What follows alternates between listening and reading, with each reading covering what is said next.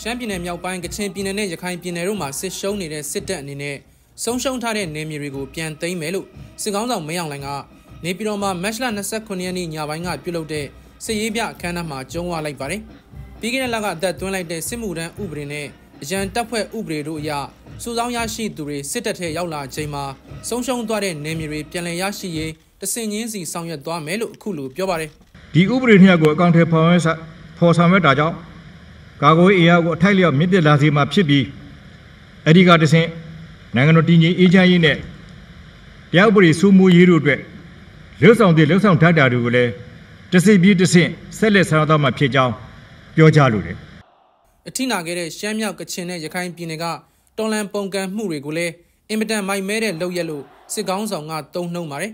အာနာသိမ့်ပြီးနောက်စည်ရေးပြအခမ်းအနားတွေမှာမြို့သားညီညွတ်ရေးဆိုရ NUG နဲ့ NUG ကိုထောက်ပံ့ပေးတဲ့တိုင်းသားလက်နက်ကိုင်တပ်ဖွဲ့တွေကိုအမြင့်ပြတ်ချေမှုန်းသွားမယ်လို့စစ်ကောင်းဆောင်မင်းအောင်လှိုင်ကကြုံဝါပူပါတယ်။ဒါပေမဲ့ပြီးခဲ့တဲ့2023ခုနှစ်အောက်တိုဘာ29ကစတင်ခဲ့တဲ့ကိုကန်တက် MNDAA ရခိုင်တက် AA နဲ့တအောင်းတက် TNL တို့ရဲ့တစ်တုံညာနှစ်ခွန်စစ်စင်ရေးကြောင့်စစ်ကောင်စီဟာကိုကန်ဒေသအပါအဝင်ရှမ်းပြည်နယ်မြောက်ပိုင်းကမြို့ရွာတွေနဲ့စစ်စခန်းရာချီဆုံးရှုံးခဲ့ရပါတယ်။လာရူရခိုင်ပြည်နယ်မှာလည်းမြေပုံမင်းပြမြောက်ဦးကြောက်တော်ပေါတော် ရန်ပြဲပုံနှကျွန်းရသေးတောင်နဲ့ချင်းပြည်နယ်ပလက်ဝမြို့နယ်တို့ကိုရခိုင်တပ်တော် AA ကတိမ့်ပိုက်ထားသလိုဘူးသီးတောင်နဲ့မောင်းတော်မြို့နယ်တွေကစစ်စခန်းတွေကိုလည်းဆက်တိုက်နေပါတယ်။ကချင်ပြည်နယ်မှာလည်းကချင်လွတ်မြောက်ရေးတပ်မတော် KIA ကမဟာမိတ်တပ်တွေနဲ့ပူးပေါင်းပြီးမတ်လ9ရက်နေ့ကစစစ်ကောင်စီစခန်းတွေကိုထိုးစစ်ဆင်နေပါတယ်။ဒီတိုက်ခိုက်မှုတွေကိုစစ်တပ်ကရဲတပ်ဖွဲ့ပြည်သူ့စစ်လူလူနဲ့ပေါင်းပြီးတည်ငြိမ်အေးချမ်းမှုပြန်ရအောင်လုပ်မယ်လို့မင်းညကထည့်ပြောသွားပါတယ်။တပ်မတော်မြန်မာနိုင်ငံရဲတပ်ဖွဲ့နဲ့ ပြည်သူ့စစ်အဖွဲ့တွေအပါအဝင်ရုံးကျွတပ်ဖွဲ့ဝင်တွေနဲ့ပြည်သူလူထုနဲ့လက်တူလက်တွဲပြီးတည်ငြိမ်အေးချမ်းမှုပြပြခဲ့တဲ့ဒေသများကိုလည်းတည်ငြိမ်အေးချမ်းမှုပြန်လည်ရရှိအောင်တရားဥပဒေနဲ့အညီထိထိရောက်ရောက်ဆောင်ရွက်သွားရမယ်နိုင်ငံတော်တည်ငြိမ်အေးချမ်းရေးအတွက်စွန့်လွတ်ဆွသားသူများကိုလည်းထိုက်တန်စွာဂုဏ်ပြုရှိမြင့်သွားရမယ်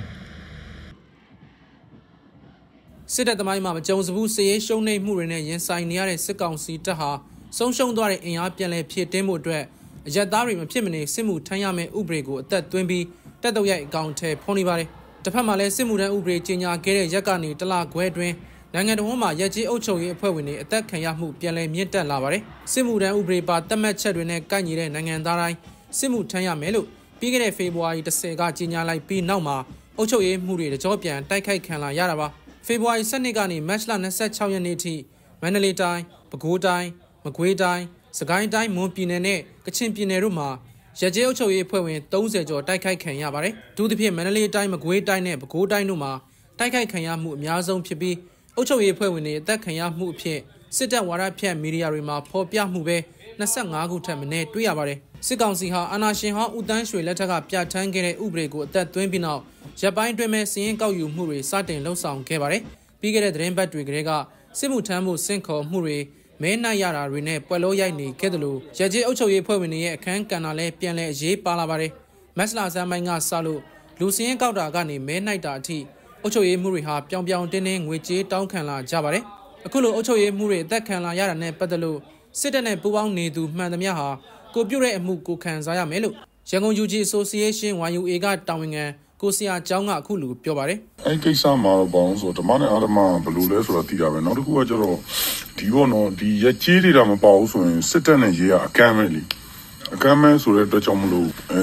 human security ကိုလည်းသူတို့ကချိုးဖောက်ထားတာဖြစ်တယ်။နောက်တစ်ခုကကျတော့ဒီအာဓမ္မမှုမှာ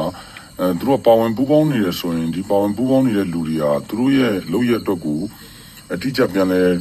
တာဝန်ယူဖို့လိုတယ်အဲဒီအတွက်ပေါ့နော်သူတို့စိုက်ပြူတာအားလုံးသူတို့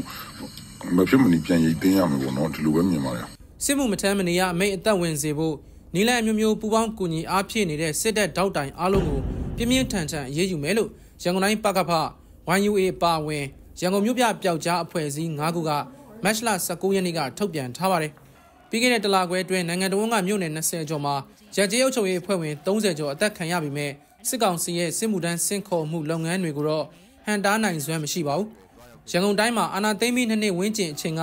ရကြေးအုပ်ချုပ်ရေးမှုအများအပြားတိုက်ခိုက်ခံရတယ်လို့ အစုလိုက်ပြောလိုက်နှုတ်ထွက်မှုတွေလည်းရှိခဲ့ပါတယ်။ဒါပေမဲ့မြို့ပြပျောက်ကြားတပ်ဖွဲ့ဝင်တွေအားလျော့သွားချိန်အဲဇင်းနဲ့ passport ကိစ္စတွေအတွက်လိုအပ်တဲ့စာရွက်စာတမ်းတွေလောက်ရချိန်မှာအုပ်ချုပ်ရေးရန်ရာပြန်လည်လေပတ်လာနိုင်ခဲ့တယ်လို့ရရန်ကုန်မြို့မှာနေထိုင်တဲ့အသက်30ကျော်အရွယ်ကိုတူရကပြောပါတယ်လူကြီးကြီးတက်တဲ့ဒေသကအရှင်းတော့အဖြေ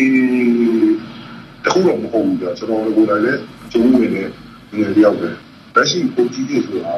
ဘာလို့စက်ကောင်ကြီးအားကိုလဲဆိုစစ်တပ်ကနေပြီးသူတို့ရက်ွက်တစ်ဖက်တည်းကိုဒါမှမဟုတ်ကြီးရွာတွေလည်းသူတို့ဘုံလို့ရှိသူတို့ကအဲ့အိမ်နံပါတ်ဒီလူစင်းတွေသူတို့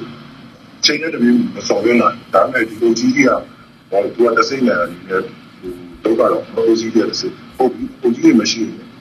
ဘူးဟိုဒါပြီးတော့လည်းဒီဘာလို့လဲအဓိကတော့ရှင်းတော့သူတို့ရဲ့လက်ရှိအားကောင်းနေတဲ့စရင်းတွေပေါ့စရင်းကြီးတွေဒီပြောတော့ကြတာအဓိကအဲဥစ္စာတွေကဖြတ်စည်းရမယ် ကိစ္စမျိုးကလောက်တာလို့ကျွန်တော်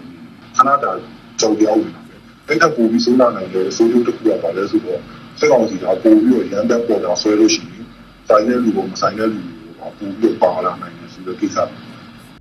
စစ်မှုထမ်းဥပဒေတက်သွင်းပြီးနောက်အကောင့်ထဲပေါ်ပေးနေတဲ့အထက်မှာရကြေးအုပ်ချုပ်ရေးအဖွဲ့ဝင်တွေသာမကပြည်ထောင်စုကြံ့ခိုင်ရေးနဲ့ဖွံ့ဖြိုးရေးပါတီဝင်တွေနဲ့ပြူစောတိအဖွဲ့ဝင်တွေလည်းပါဝင်နေတယ်လို့သိရပါတယ်။ပြီးခဲ့တဲ့သတင်းပတ်အတွင်းအသက်ခံရသူတွေထဲမှာပြည်ခိုင်ပြိုးပါတီဝင်တချို့နဲ့ ပြူစောတိခေါင်းဆောင်တချို့လည်းပြစ်သက်ခံရတာရှိပါတယ်။အနာသိမ့်ပြီး၃နှစ်အတွင်းစစ်တပ်ကိုစန့်ကျင်သူတွေဖမ်းဆီးတပ်ဖြတ်ခံရမှုမှာရကြေးအုပ်ချုပ်ရေးအဖွဲ့ဝင်တွေမဖြစ်မနေပါဝင်ရတယ်လို့စစ်တပ်ရဲ့ဖမ်းဆီးခံရပြီးအလောင်းမဲ့ပြန်ရတဲ့ဖြစ်စဉ်တွေအများပြားရှိပါတယ်ခင်ဗျာ။